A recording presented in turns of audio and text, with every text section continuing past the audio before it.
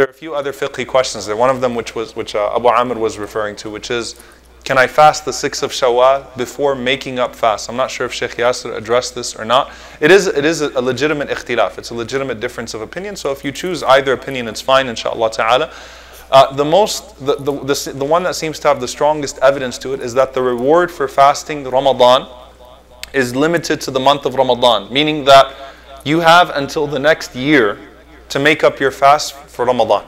The time, the restriction on the time is that you have all the way until next Ramadan, before next Ramadan, to make up those fasts. Though you're encouraged to make them up as soon as possible.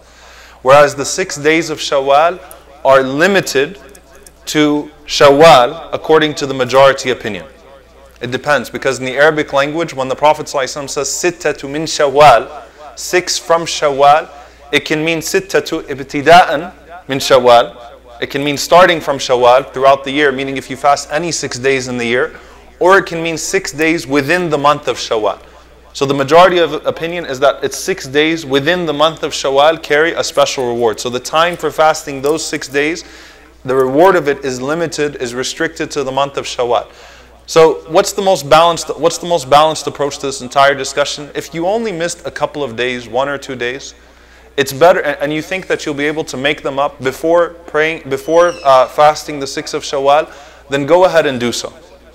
If you have a huge number of fasts to make up, and this is of course particularly for sisters usually, and that's where the example of Aisha radiallahu anha comes up, that Aisha radiallahu anha had fasts that she still owed from Ramadan, and she made them up in the Sha'ban of, you know, right before Ramadan.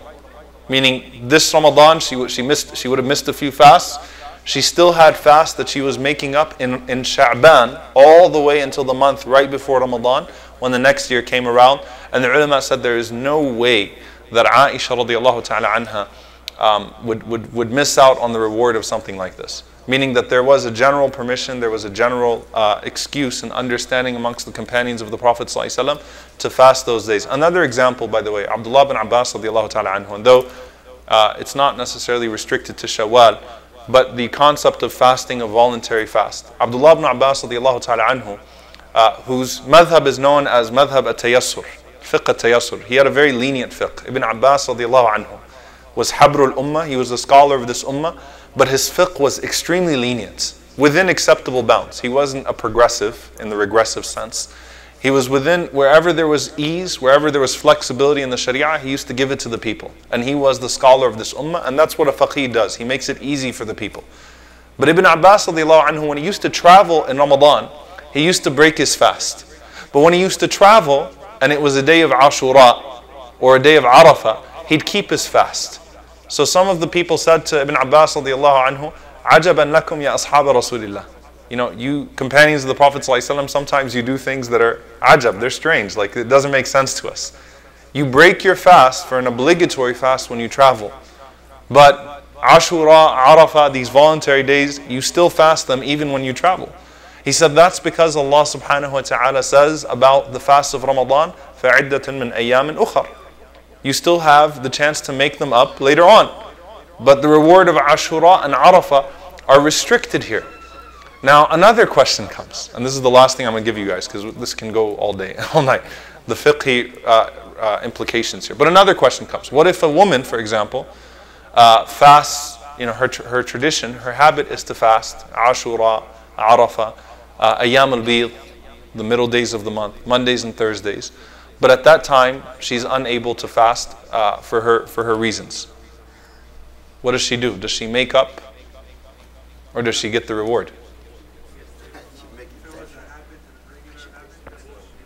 Barakallah fik. The Prophet ﷺ said that if a person was accustomed to doing something when they were resident, when they, when they were at home, and they, weren't and they were healthy, if they were accustomed to that, and a sickness or travel prevented them from doing that deed, Allah would write them down the full reward of that deed, tamma, with, with absolutely no deficiency.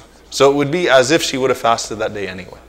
Allah would give her the full reward without taking anything from it. There's zero deficiency in it.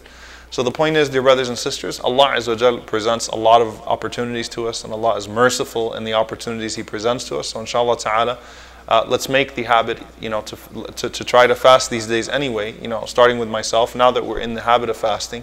You know, subhanAllah, the day was so long. right? And we thought we wouldn't be able to make it through this Ramadan. But you know, you get accustomed to it. So while you're accustomed to it, try to keep the habit of fasting, inshallah ta'ala, and particularly tomorrow, inshallah ta'ala, uh, which is Thursday. If you can combine the intention for uh, for fasting the 6th of Shawwal, as well as fasting Thursday, as well as as well as Ayyam al then that's good. All right, last fiqh issue. Friday and Saturday. Are they prohibited to fast or not? Is it prohibited to fast Friday or Saturday or not? To fast Friday alone is severely disliked. To fast Saturday alone is severely disliked to a point of prohibition from the Prophet. Okay? To fast them alone. However, when the reason for fasting those days existed before those days came, then it's no then the prohibition and the dislike is removed.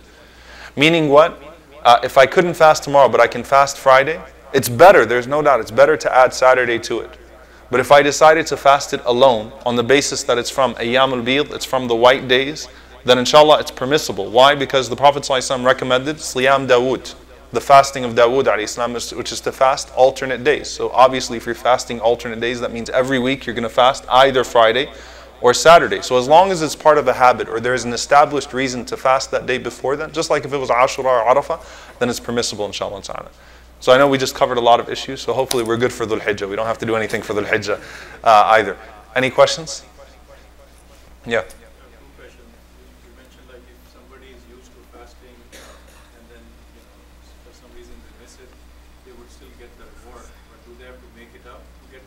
No, you don't have to make up a voluntary deed.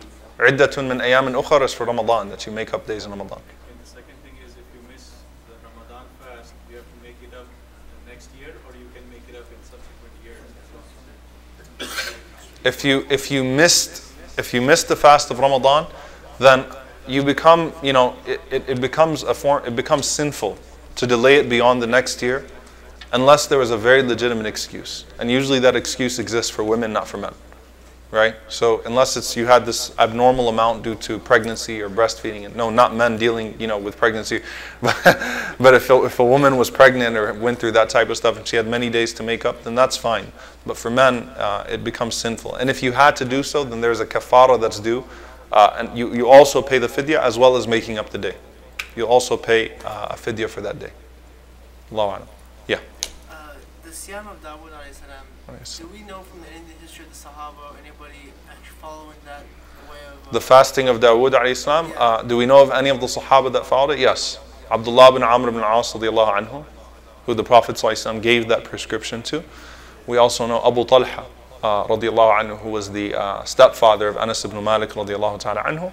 And it's been narrated, you know, from, from Jabir radiallahu anhu and some other companions as well. So yes, there were companions that took that prescription of fasting every other day.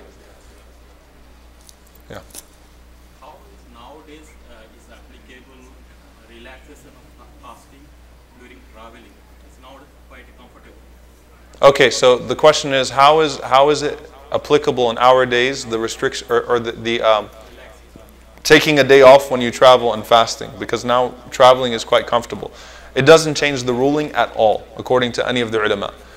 The ruling on traveling and fasting is that it's up to you. The Prophet ﷺ says, Man sha'a and, and yasum yasum. Whoever wants to keep fasting can do so, and whoever wants to break his fast can do so. So to some people, it's not that comfortable. Even if you're in a plane and it's, you know, it's still difficult to fast. So that's their completely their. It's up to them. So uh, the Prophet ﷺ did not assign uh, the or, or, Allah uh, or the Messenger ﷺ, Neither of them um, gave the permission to break your fast when you're traveling, only if it's a hardship. Like mashaqqa is not mentioned in the equation. Hardship is not mentioned in the equation in any of those, uh, you know, rukhas that are given. So it's open. It's still open to us. Yeah. So what if there's like a time zone difference? For instance, Suhoor is like in Texas and uh, the time zone between California or Texas. Would you do Suhoor according to your local time here in Dallas or? You do Suhoor and you fast and you pray according to where you are. So if you're flying to the West Coast, for example, and you're losing time, then and you want to keep fasting, you've got to wait till Maghrib in the West Coast. If you're flying to the East Coast, you cut an hour out. Good for you right? It's fine. Allah subhanahu wa ta'ala has opened it up, inshallah. It's, it's okay. Uh, but yeah, it's according to where you're at. Allah. All right, last last question. I'll give it to Furqan, and then you can ask me personally, inshallah. Yeah.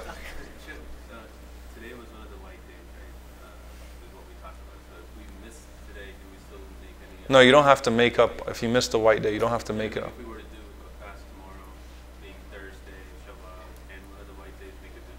Yeah, so you can fast any one of the white days exclusively Right? But the best sunnah is for all of us, inshallah. If we can make it a habit to fast all three of those days, then that's good, inshallah.